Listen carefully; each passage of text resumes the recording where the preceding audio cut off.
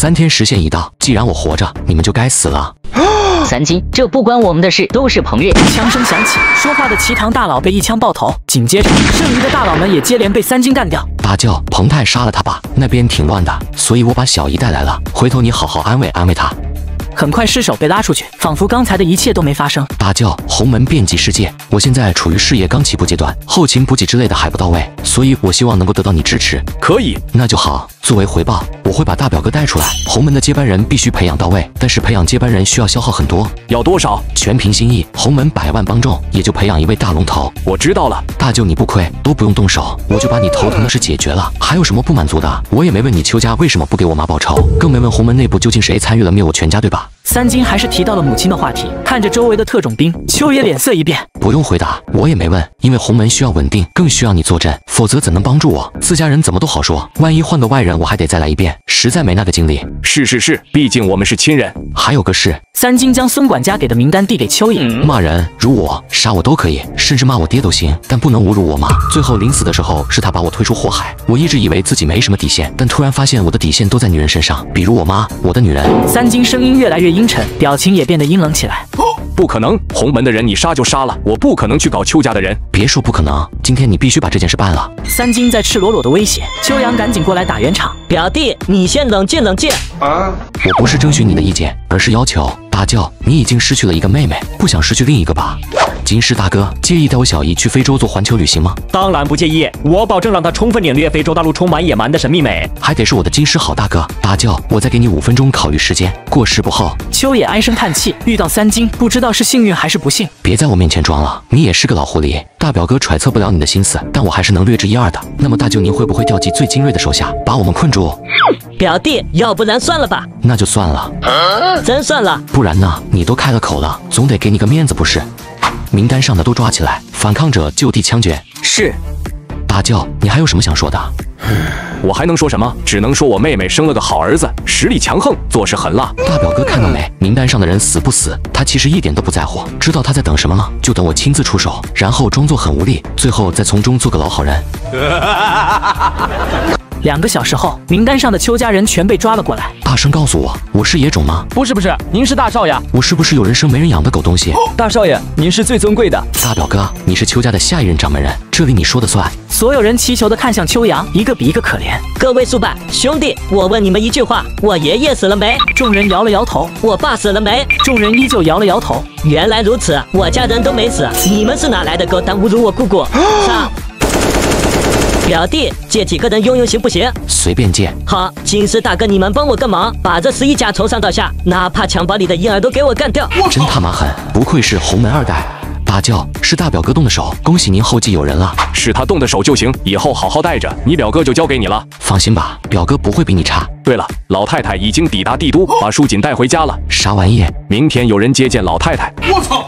大夏帝都，老太太刚下飞机就受到无比热烈的欢迎。最恐怖的是，竟然还响起了礼炮。感谢，万分感谢。老太太您客气了，这都是我们应该做的。如果有什么不满意的地方，随时批评指正。谢谢祖国，谢谢领导。这是无上殊荣，因为洪门的人曾上过城门楼子。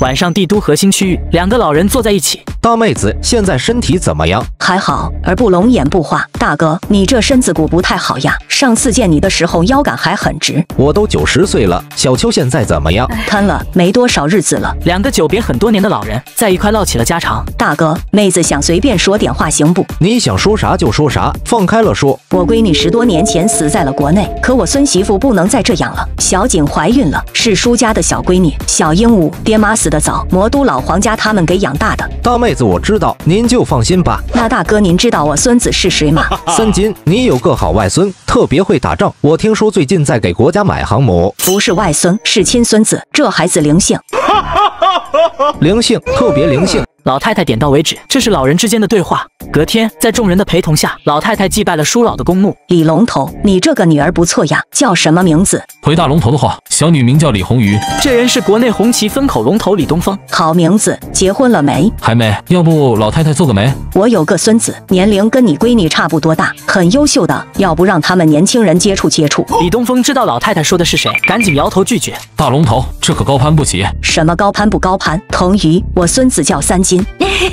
三金嘛，我同意。神话先生，托尼将军想与您面谈一下之后的合作，您看什么时候合适？半个月后吧，地点定在雾都。接下来要去二毛国，得赶在年前把航母的事谈下来。大少爷，彭泰死了。什么？好端端的怎么就死了呢？我这个表哥是好人，听说是自杀的。等老太太回来后，不知道得伤心成啥样。你是三金吗？你是？我是李红鱼。有事？我对你好奇。然后呢？你没意思。这妞是不是有病？你刚才是不是说我有病？对，想问你有没有妇科病。现在你有点意思了。有趣的灵魂，这是三金目前对李红鱼的评价。李红鱼，帮我个忙可以吗？可以。不问问什么忙？肯定是我能做到的。不愧是大智若妖李红鱼。三金，你是务实主义者。帮我生个孩子呗。李红鱼沉默了，这个要求确实在他的能力范围。嘿嘿，要是连个妹子都拿捏不住，老子以后还怎么混？我不愿意。为什么？耍赖。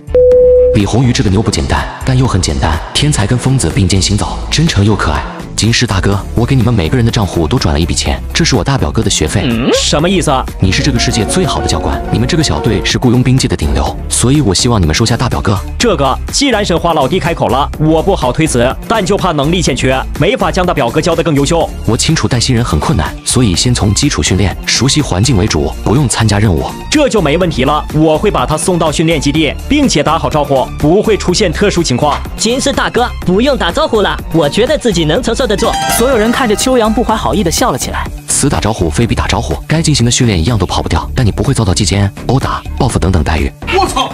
随着前苏解体，不管大毛还是二毛，都出现了经济大崩溃，街上到处都是游行的人。这里是天堂，看你气色不错，最近过得很舒服吗？当然，这里的姑娘特别热情，只需要一刀，她就会努力探索你的任何私密。如果你肯出十刀，漂亮的女孩会蜂拥而至；如果能出一百刀，父母会争先恐后把孩子领过来。这就是二毛国的现状，毫不夸张。没兴趣。晚上七点，德米特罗上校为你准备接风宴，但是你得有心理准备，航母的事不是一次性就能谈成的，尤其面对东方人。我清楚。晚上，两人来到德米特罗上校的宴会厅，他是黑海造船厂的负责人。三金先生，听说你想购买瓦良格号，打算用它做什么？赌船。我要用它建造世界上最豪华的赌船。我要把所有的娱乐项目全部搬进去，让拉斯维加斯都为之俯首称臣。这个构想太酷了。那么，你打算出多少钱买瓦良格号？三金笑了笑，伸出两根手指，两亿刀？不，两千万刀。什么？